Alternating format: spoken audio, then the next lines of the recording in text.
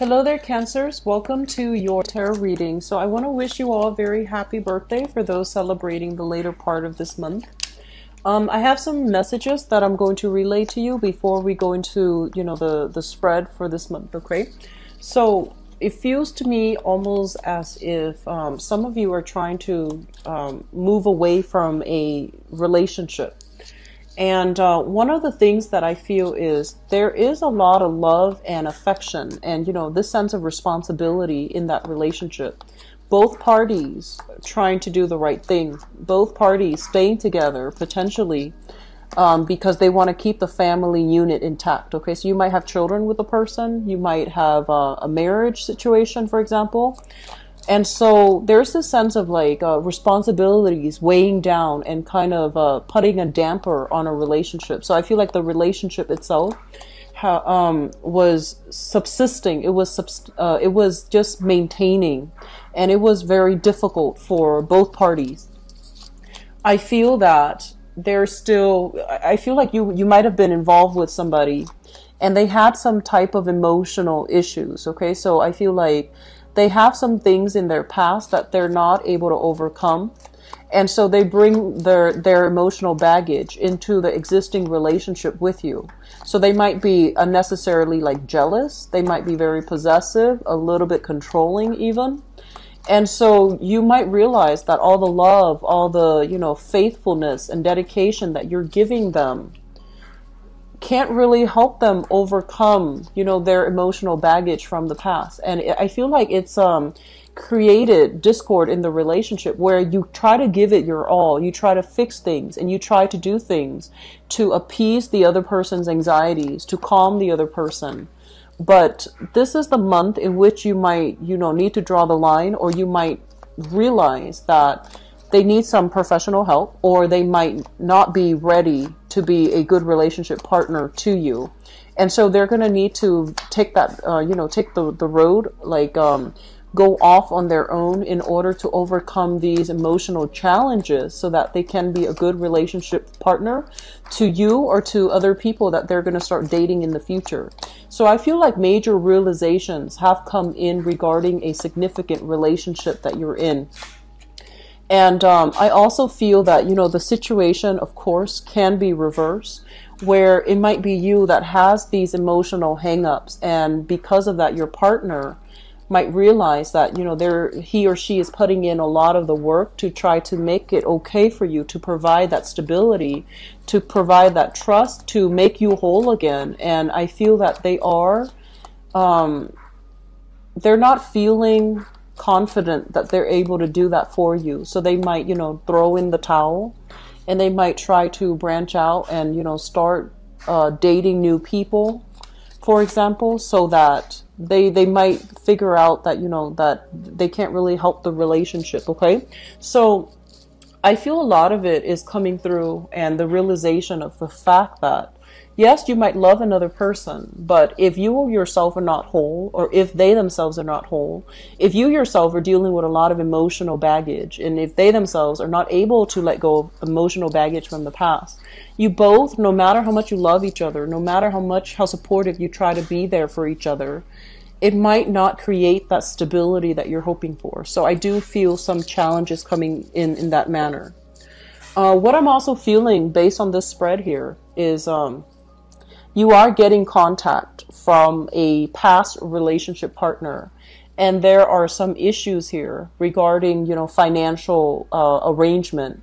Somebody is uh, owe somebody some money. So i do feel the element of money financial resources share resources joint accounts for example all of these things are coming back for reexamination. Um, i do feel that currently this month financially things are going to look up for you okay? But i feel that you need to really be diligent about settling debts from the past so that you can systematically and uh, successfully handle the financial situation that's going to be uh, opening up for you in the future. So I feel some of you are in have been in the position. So this is something that could be happening for this month. If you have been, you know, soliciting like um, jobs if you have been sending out your resume, sending out, you know, um, working on your contacts, building your professional contacts as well, or even sending out your resume for a new job, I do feel there is going to be a job that's coming through. And I do feel it's going to pay you handsomely, okay? So they're saying a job coming through. Um, I do feel some of you might be reverting to a healthcare industry, some type of a healing industry. It could even be dentistry, it could be even be like dental hygiene, for example. But there's an element here of it being in the healing profession. And there's also a lot of potential for growth associated with it. Okay, so healing profession in some way. You could even do sales for like a pharmaceutical company that's still marginally considered in the healing profession where you're dealing with the public, where you're you're doing something related to health, okay, mental, physical, emotional health for other people. So job applications that have been sent out, I feel that you're going to get very, very positive feedback. I feel that some people might solicit you as well to come through for job interviews. And I do sense that you're going to be able to shine. So whatever you've been waiting on, I do feel it's going to come full circle. It's going to uh, culminate in a really fruitful way. And I also feel some of you are dealing with like child support issues based on this combination here. Um, it basically denotes, you know, some type of a breakdown within a household unit. Um, there might be issues about, you know, owning property or things that you have accumulated over time, property, furniture, housing, and, um, you know, joint bank accounts and things like that. And I feel that one person might have left that arrangement. One person moved away. So it could be like a separation where you're no longer involved with that person and uh, you're trying to figure out how to divide up your assets. And likewise, if you have children, there's going to be custody issues, okay? Wanting to like settle the score with the other person associated with to uh, with like dividing up the assets between the two of you, selling the house, fixing the house, selling the house, having a conversation with an ex partner about how to divide things adequately. And I also feel ex partners possibly wanting you to up child support for whatever reason. Okay. So I feel like there's a, a lot of things happening on the periphery, but the major thing is I do feel your financial situation improving. And I do feel a lot of feedback uh, and possibly new projects happening in the work front that will allow you to take on new projects implement new projects and being able to reap the financial rewards as a result of handling and arranging these new projects. So they look very good. The other thing that I'm feeling as well is um, there are that um, there there there are elements here about the work situation or something in your environment. Okay, so dealing with people who are very rigid, who are a little bit structured, too structured, who are a little bit too um, uh, too much of a you know a stickler for rules and regulations. And I do feel that it's forcing they're forcing you to conform and the ways in which you do work the ways in which you handle work where you take a very creative approach to problem solving where you take a, a, a more creative approach to you know implementing new ideas implementing new plans i feel that they're saying that in the new work environment or existing work environment, there's a lot of procedures, rules, and regulations that you need to abide by.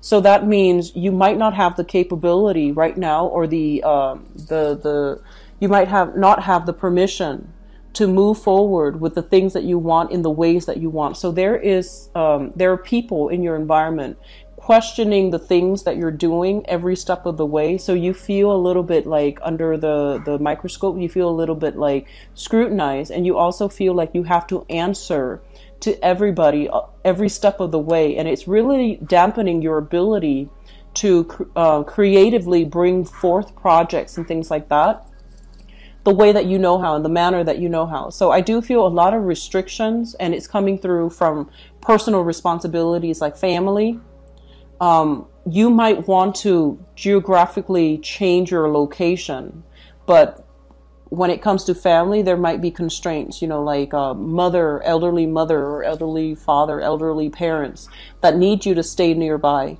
And likewise, the type of work that you want is, f- for example, only concentrated in a specific geographical location. So you have to stay there if you want to work in that industry. So it really prevents your ability to be mobile and to move about, mainly because the type of work that you're qualified for might not be available in the new area that you want to live in. So I do see some geographical constraints coming through as a result of this card. It's for, it's you might feel like you're being pigeonholed into a certain type of work, mainly because it's only clustered in this location, so you can't really branch out and explore. And what I'm also feeling as well is that a lot of you are looking for new opportunities.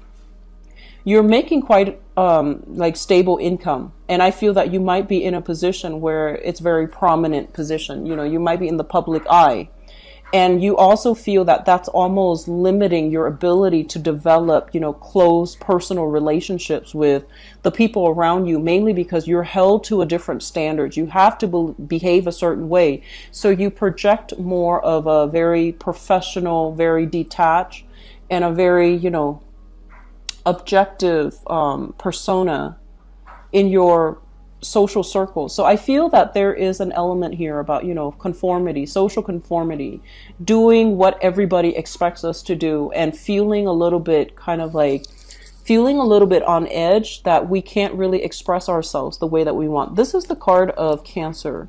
So this is your card. And when it shows up in the reverse, and uh, especially in the, the spread that signifies you, it basically means that your freedom of expression, your ability to really behave and express yourself in a manner in which you want might be severely limited, mainly because the people around you are um, are conforming to a structure that's not allowing you to communicate. Okay, one of the major, um, I, I, guess, like outlets. One of the the thing that will help this energy here is to communicate in a way that is upholding the truth, authentically true as well. So rather than seeking those, you know, uh, really person, uh, really personable or really uh, deeply, I, I want to say, emotional um, conversations or connections. I feel that you might be in a capacity for this month to be able to connect to a lot of people, but you you might need to change the way in which you relate. So that means being a lot more objective, being a lot more like um, how is this going to look like five years from now? What are you planning to do with this, you know, loan if it's offered to you? So I feel like reaching out to people in a technical and also in a very practical way is going to allow you to build your public image, to build your credibility so that you are also experiencing this other part of yourself where people come to you because they really respect you and they really trust your expertise rather than having people come to you just because they want that emotional, you know, connection. So changing the way that you communicate and especially communicating in a way that is very linear, that is very concise, that is a lot more objective and practical and in the spirit of problem solving. That's going to allow a lot of people to come to you and to see things from your perspective, okay? So I don't feel any challenges per se coming through for this month. I just feel that your ability so far to implement the, the things that you want has not been, um, it, it, it feels like it has been uh, stall, delay, or something like that. And I feel that one of the breakthrough happening for this month is finding a different way to relay the same message, more in an objective manner, in a also economically feasible manner to allow people to come on board so that they can entrust you with the full responsibility of launching projects without, you know, having to micromanage you and without having to like um, put in their two cents after you have already taken the reins of the situation. Okay, so I feel a lot of success overall. It's going to be coming through. It's going to be felt. I feel like the later part of the month where when everything starts to settle, when the the the hard work and the dedication that you've been uh, doing will start to really, you know, become noticed and other people will see that you are somebody who's dedicated who's committed and who's not just you know a creative thinker with um, lofty goals. I feel like they're going to start to see you in a different manner and they're going to start to see your true uh, capabilities and your true skills shining um, they're going to be able to it's like shining a light on your true personality, your true skills, and knowing how you're able to practically, not just creatively, but practically solve problems for the greater good. Okay? So Cancers, I'm happy to see this for you. I do feel it's going to be a really good month overall. Um, I feel like the month of June has been a very transformative month for a lot of the signs. You are the fifth sign that I'm reading for. And I feel like a lot of breakthroughs happen in May. And it could be the change in season overall, but I feel like a lot of breakthroughs are happening across the board. And I'm really happy to see this uh, energy coming through for many, many signs. So let's see what's in store for you guys for the month of uh, June love, romance, and relationships.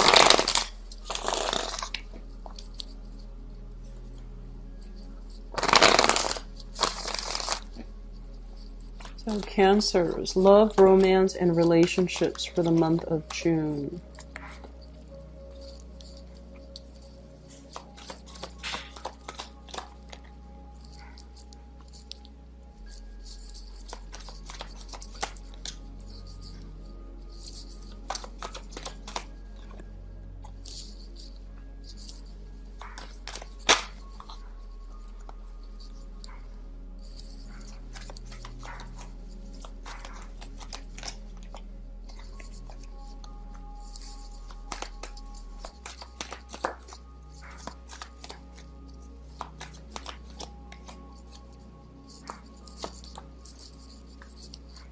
I'm reading these in the upright position. It makes it easier for me.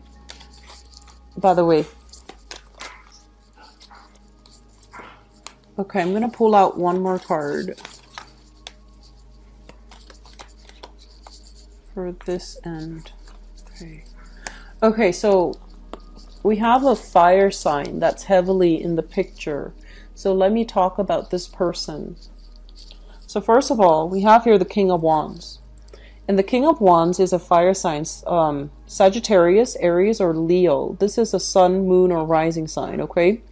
Um, this is somebody who's very adventurous, very brave, very courageous. And um, I also feel as well, this is somebody that is very in love with you, very adamant about wanting to be with you, wanting to see you, and wanting to, you know, build a relationship with you. I feel that this person has worked really hard. They're very accomplished. So I feel like this is not just, you know, somebody like um, in school or unemployed or, you know, just drifting through life. This is somebody who is a working professional. They're very directed with their energy. And when they see something that they want, they really go for it. So it's somebody who's ambitious, both in their career and also in love. So I feel like they're, they wear their heart on their sleeves and they have made it known multiple times that they really want to be with you. So I feel like you're dealing with this person. Um, for singles as well, there might be a person like this coming through and they're gunning for you. So this is pretty much, you know, somebody that is, that has the hots for you and they really want to be with you and they're going to be very vocal and very clear about their intentions. Um, it's linked up here with the Eight of Pentacles. And the Eight of Pentacles is um, kind of like that earlier message that I got with the other uh, spread. Working diligently towards a common purpose. So I do feel that they are investing. If you are in a relationship with them, they're investing a lot in this relationship in order to, you know, make you happy, in order to keep things alive, in order to keep things afloat with you. In the past, we have here the justice card, and this deals with legal separation, legal paperwork. So some of you have um, extracted yourself from a person, and I feel like there might have been legal assets being divided. There might have been um, child custody issues. There might also be some challenges when it comes overall to, you know, how to divide your assets together, disputes about child custody, as well as, you know, some troublesome situations it's like a messy um, end of a relationship where there's a lot of financial entanglements and you have to slowly, slowly unravel things. And um, there might be children involved as well with the six of cups here. This is a card about you know childhood memories nostalgia etc but i feel like some of you are in a relate were in a relationship. There has been separation. There's still children in the picture. You're still dealing with the residual effects of you know how do we um, come to an agreement when it comes to custody, child custody, or even child support. For others of you, you might be with a, a fire sign, so Sagittarius, Aries, or Leo. And uh, there's a very strong, very, very strong connection between the two of you here with the Six of uh, Cups. And the Six of Cups basically means two people who really love one another. But for whatever reason, they have some legal issues that they're dealing with. You might have some legal issues that you're dealing with as well. That's not preventing the two of you from coming together. And um, for whatever reason this applies to you, they might be, you know, facing a d- divorce and they don't want to get involved until it's resolved. They might be dealing with other legal issues, whatever that might be, on their end, and it's hard for the both of you to come together, okay, as a, a unit for whatever reason because of legality. In the foundation, the foundation is something uh, you already have the knowledge of coming into the month of June. You have somebody in your life that's making you really happy and i feel that you are meeting somebody who is your equal. So for example if you for example are um, kind of like in in the public limelight right you're meeting somebody that has the same type of education, same type of financial stability, the same type of just um wherever you are in life, you're meeting somebody who is your equal match, okay? So I feel like there's a lot of admiration, there's a lot of mutual love and support coming through with this spread. And this spread, I I'm sorry, this card usually denotes to me like meeting somebody at an outdoor professional or social function and then when you meet somebody, when you meet this person, it's almost like love at first sight because it, it's like two people meeting for the first time and feeling very physically attracted to one another.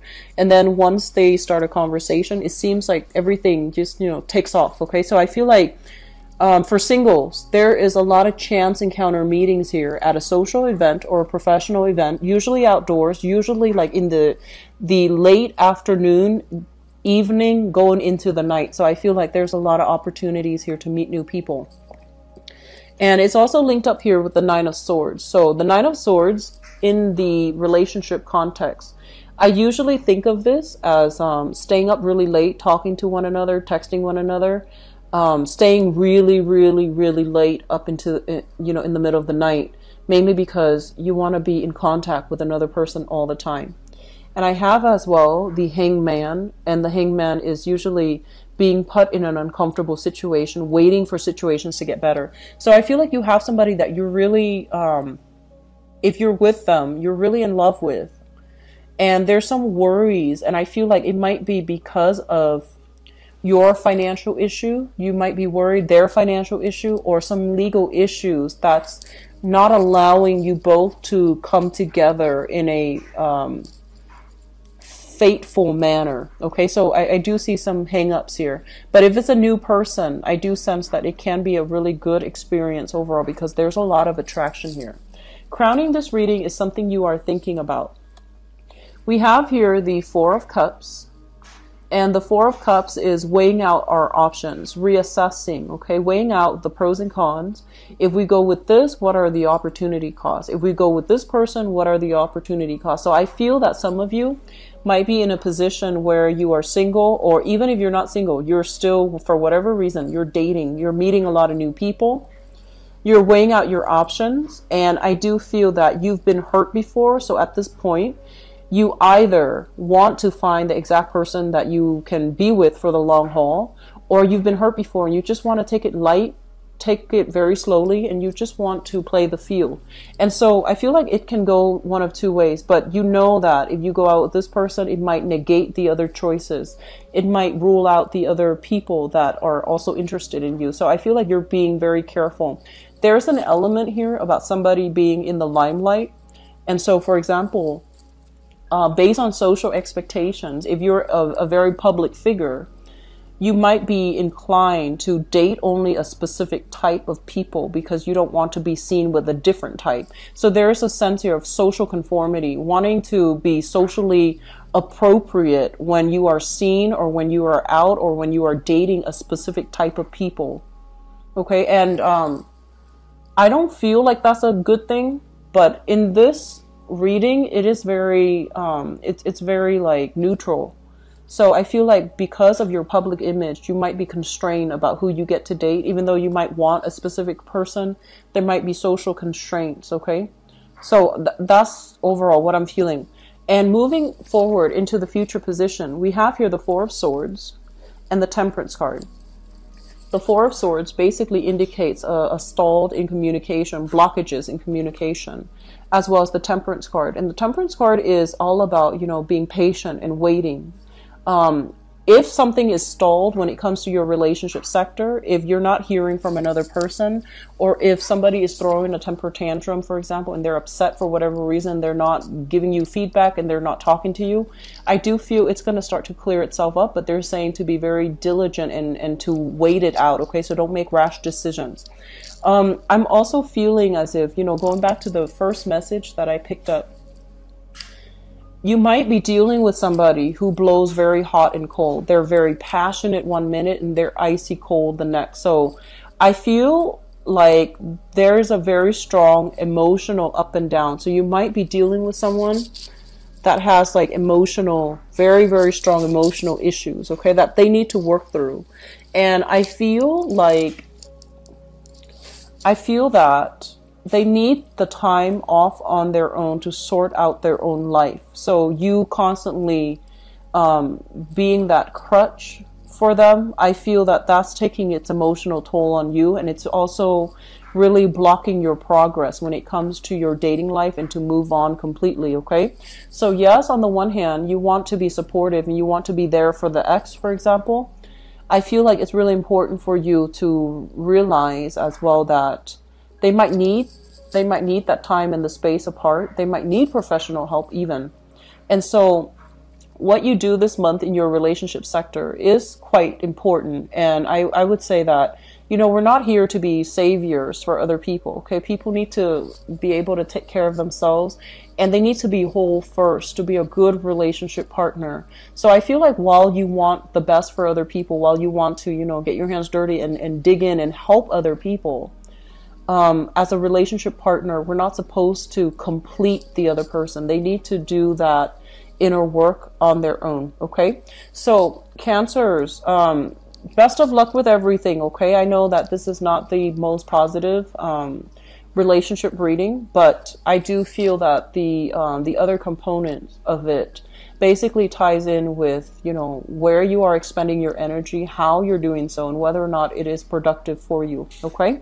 So if you'd like to book a private reading with me, please visit my website in the description box below. And if you'd like to donate to my channel, I would greatly appreciate it. The link is down below as well. Um, for the scheduling for June, I'm not sure where I'm going to be and I'm not sure what my schedule is going to look like. So maybe by next Friday, I will, you know, um, the the scheduling time frames, time slots will start to change, okay, week by week, because I'm not really sure what my schedule is going to look like. But if you'd like to book a uh, an appointment with me, um, please visit my website, all right? I will talk to you soon. Take care of yourself. I wish you the best, Cancers. Bye bye.